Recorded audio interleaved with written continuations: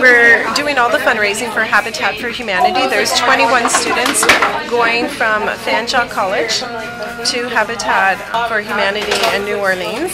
So they're driving down. They're having to pay for their own housing once they get their their own um, their own gas and their own meals once they get on site. So this is to help them raise money.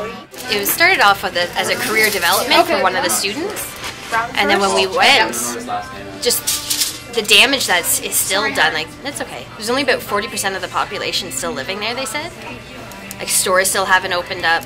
Um, there's still a lot of work to be done.